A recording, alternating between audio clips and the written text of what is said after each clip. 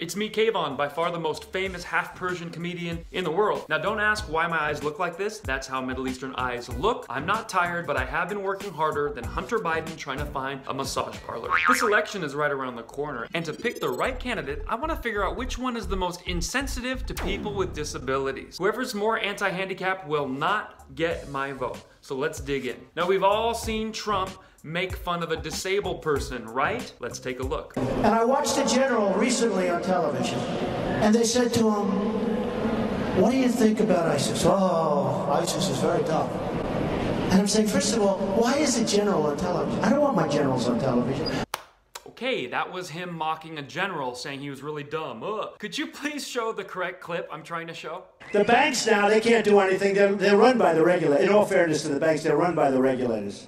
When you see the president of the bank, I mentioned the word regulator. Oh, these guys come in, they run the banks. No, please show the clip where he mocked the disabled person. Do it. Ted's a good debater. I said he is a good debater, but he can't talk, okay? Bad talker. He's a good debater, bad talker.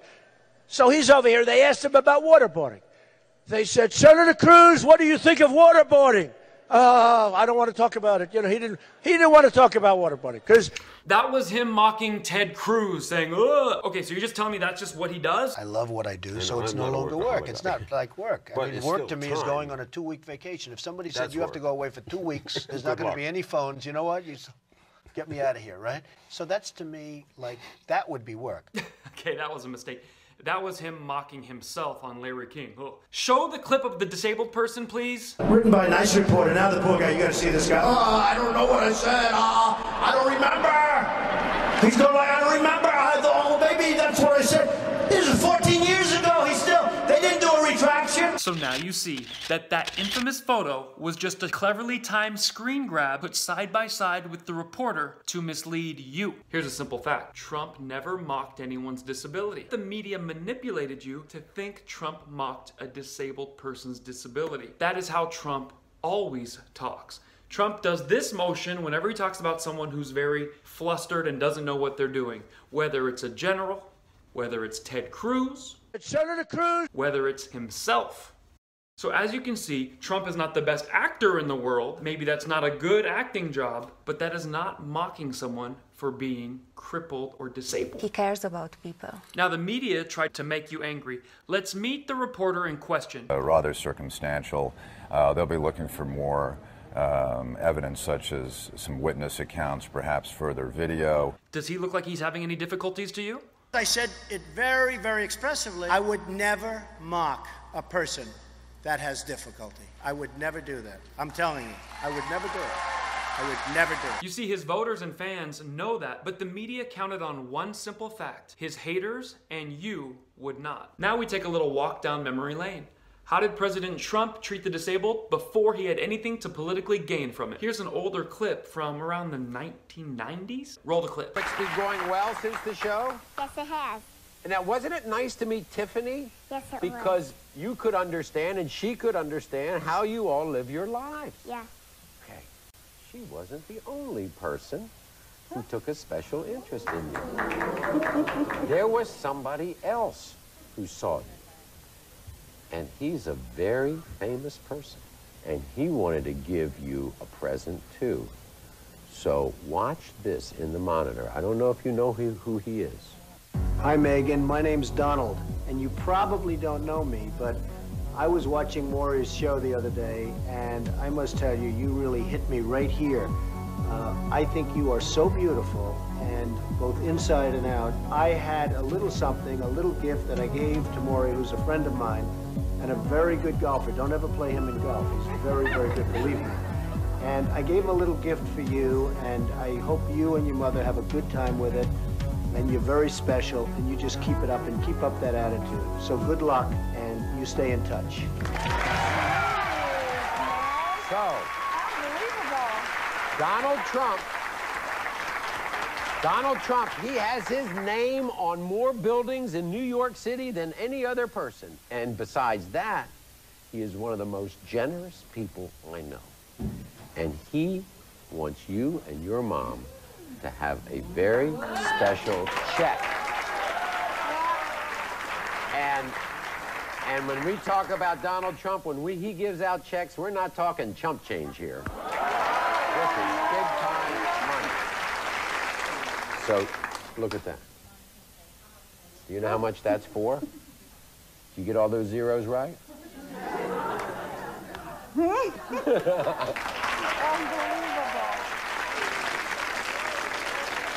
Thank you very much. All right. We'll be back right after this. It's really slanderous they would do that to someone with such a long history of reaching out to disabled people. But when they go low, they'll go lower. Trump always does this when he talks about a flustered person. The media took that screenshot, put it next to a journalist who had a disability, and tricked you. This lie was carefully curated by the media in order to get mainstream America, who doesn't have time to dig into these things, to hate the president. It's one of the worst things you can say about someone, right next to racist, rapist, falsely saying they mock disabled people is right at the top. Even Meryl Streep got in on the action when she used her position of privilege and her celebrity to further the lie to the American people so you would vote the way she wanted you to. Despicable. Check it out. There was one performance this year that stunned me. It, it sank its hooks in my heart. Not because it was good. It was, there was nothing good about it. but it was effective and it did its job. It made its intended audience laugh and show their teeth. It was that moment when the person asking to sit in the most respected seat in our country imitated a disabled reporter, someone he outranked in privilege, power, and the capacity to fight back. Now, Meryl Streep is smart enough to know that Trump never mocked someone that was disabled. She looked into the tapes, she saw the video, but she used it in order to manipulate all her fans and the mainstream celebrities. This way they could go out and spread the same lies. It was actually quite a good trick. It's ironic to me because Hollywood has never really had a problem mocking or making fun of disabilities. In fact, that's how they've made most of their money over the last 50 years. If you look at all your favorite shows, Mad TV, In Living Color, all your favorite actors,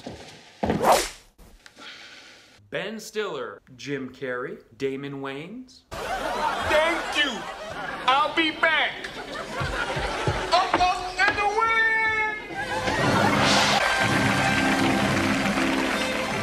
Adam Sandler made a billion dollars off of mocking disabled people. Almost any single comedian who's had a chance took a shot at people with disabilities. Democrats have always used political campaigns and jokes to mock the disabled. Look at this commercial mocking Paul Ryan.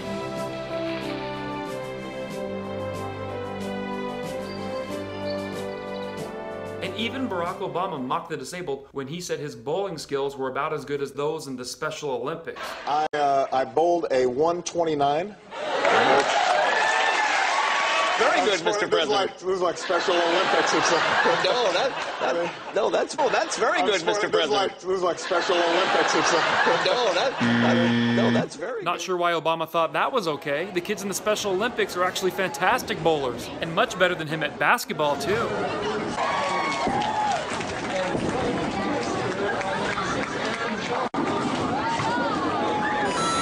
Take a look at this young podcaster. She might be deaf, but even she can hear the dog whistle of Democrats who only seem to care about disabilities when it can serve them. If for some reason you don't know, there has been news circulating around since around 2016 of Trump mocking a disabled reporter at one of his rallies. This disabled reporter's name is Serge Kovaleski. Also, at the same time, there's a bunch of people saying that he didn't. What's been happening, especially now, is almost every single able person that I know is posting a meme or the GIF or an article or whatever of Trump mocking this man on national television and then saying something along the lines of, How could you be voting for this guy? This is where the line is drawn for me. None of y'all have given a crap about disabled people except for that one particular moment. Basketball players have a long history of mocking people with disabilities. Check it out. A Madison Heights man getting unwanted attention online from celebrities. We all, to some degree, know what it feels like to be different, but Jahmel Binion knows that feeling better than most. I was born with a rare disorder. It's called ectodermal dysplasia. It keeps him from sweating, his hair from growing, and his teeth from fully forming. Like I've been getting teased since I was like yay tall. But a lifetime of bullying could not prepare Jahmel for this. People was coming to me They was telling me like, yo, you got a picture. Shaq posted a picture with you. The caption, Smile Today. The unflattering pic on the Shaquille O'Neal Instagram account earned more than 14,000 likes and more than 400 comments. I was kind of hurt. Pumped. As you should be. Well, I'm giving you a high five. So messed up. Longtime Democrat Howard Stern has made his whole career off of mocking disabled people, bringing them in for laughs at their expense. Pounds. Okay? Uh-huh. His name is Eric. And you got to hear this guy's voice. Gary said you couldn't even understand that, that you have to sit in the scale until the bit's over. That didn't work out because his belly was too big. What happened? John the Stutterer. He's unbelievable. Here, I'll play you some of it. As much as you can take. Oh, um, w- w- well, uh, quite seriously, uh, um, Now, are they all horrible people? Or are they just trying to bring levity to tough situations as comedians do? Now, me personally, I like to tease everybody. People with disabilities are part of our society. To not acknowledge them in a comedy show would be to turn your back on them and pretend like they don't exist. Not cool. Society treats disabled people as though they're less than. Say the word. You know, I'm disabled. It's okay. Even I made a joke here and there. There's a new culture out there who can get offended first and for other people. And that's the weirdest thing in the world. I had that at a show I did once. There was a blind gentleman in the front row, and I was teasing the blind guy, and he was having a great time. After the show, he said, Most people ignore that I'm even there, so thank you for making me feel like a part of it. And that's where his head was at. But during the show, I'm teasing the blind guy, and a woman in the back is like, Excuse me, I'm offended. I'm like, What? Why are you? Because don't talk to him anymore. I'm offended for the blind gentleman. I'm like, You're, you're offended for him? He's laughing. He's facing the wrong way, but he's laughing.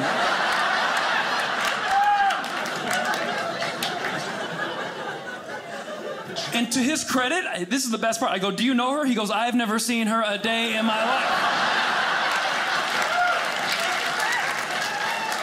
Yes. If anyone ever had a difficulty or disability, the left never had a problem making fun of it as long as they matched their political side. People that have a difficulty, I cherish them. These are incredible people, and I just want to put that to rest.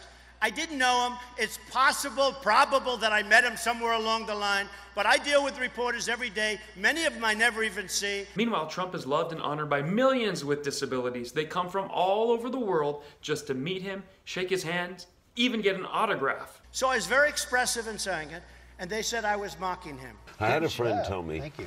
that if he had a problem, he would call you.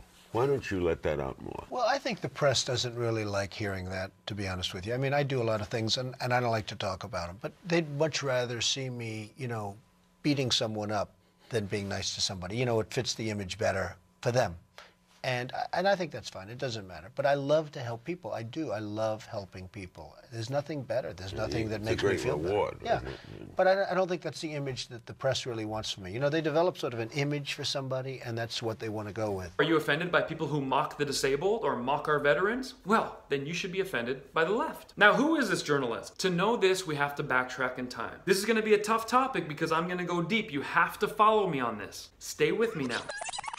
Trump said he was upset to learn that when the Twin Towers were falling, there were reports of Middle Eastern people chanting in the streets celebrating. A new report says dozens of people in two separate groups in Jersey City celebrated as the Twin Towers fell.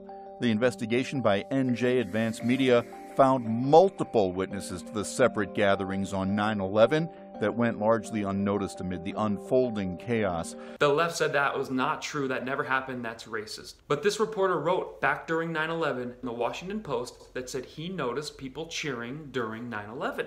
According to the report, a now retired police captain said he cleared a rooftop celebration of around 25 people from an apartment building with a view of the towers. So Trump said, Why won't this reporter speak up for me? And the reporter, who has an arm like this that doesn't shake, said, I don't remember writing that. Now remember, Trump had not recently seen the disabled reporter, he just remembered the article. Trump had every right to be upset, but Trump did not go like this to make fun of him.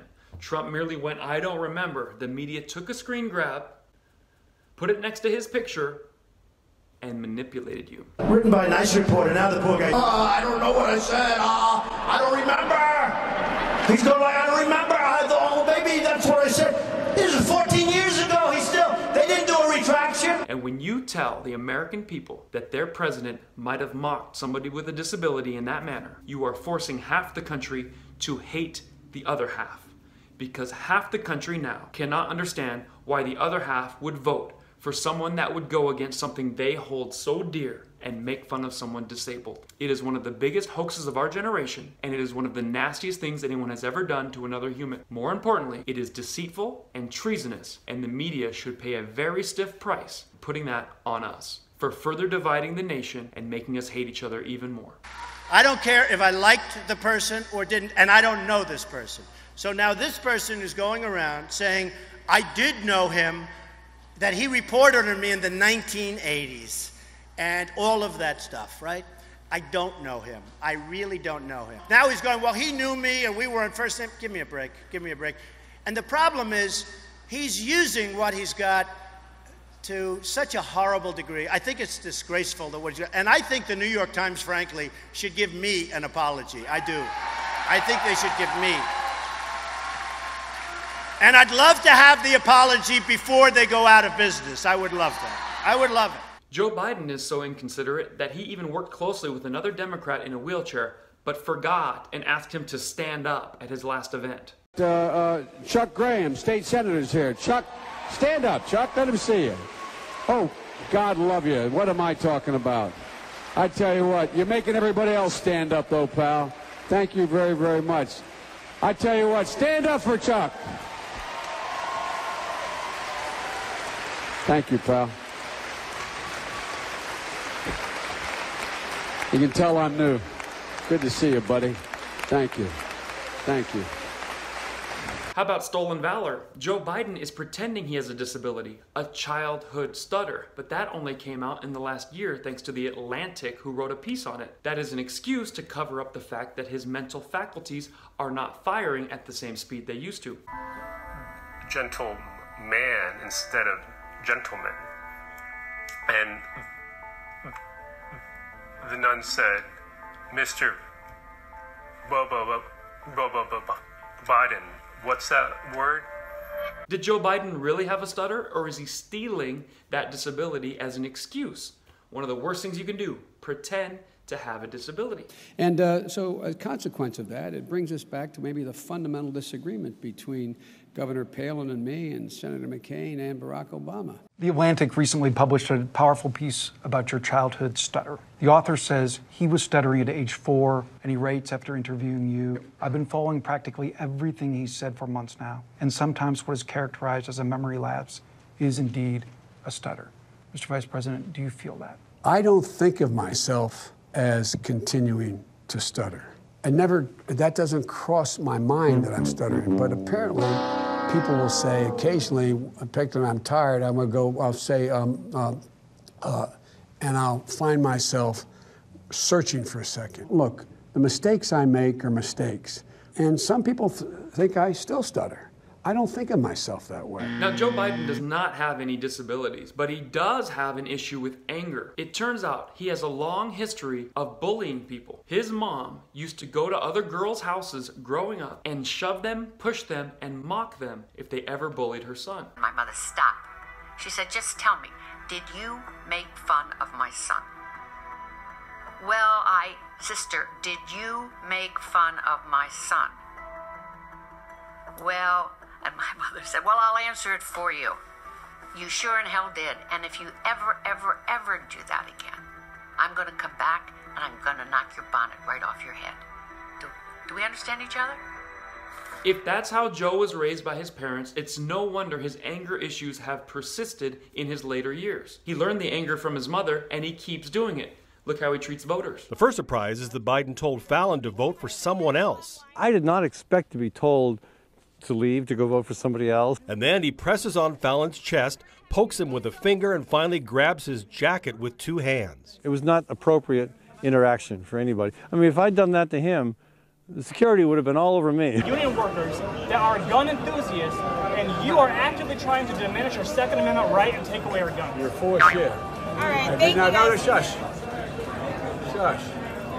You need 100 rounds. So when you your- were in No. When you said you're going to take our guns, that I means did what? not say that. That's You not true. I did That's not say that. It's a viral video. It's a viral video like the other ones they're putting out there. They're It simply was a lie. your voice. You said that you're taking the gun. Well, with he just Beto. clarified Beto- it. Wait, wait, Beto wait, wait, wait, wait. the Hey, Take your. AR, your AR-14s. Okay, this is not okay. Hold on, hold on. All right. Hey, let's you keep went Don't tell me you to did do the same I'm thing gonna to go you. There's a lot with of you. guys. Hey, you're- a lot you're of guys working for me, man. Hey, I'm not hey, working. Hey, hey, Hold on.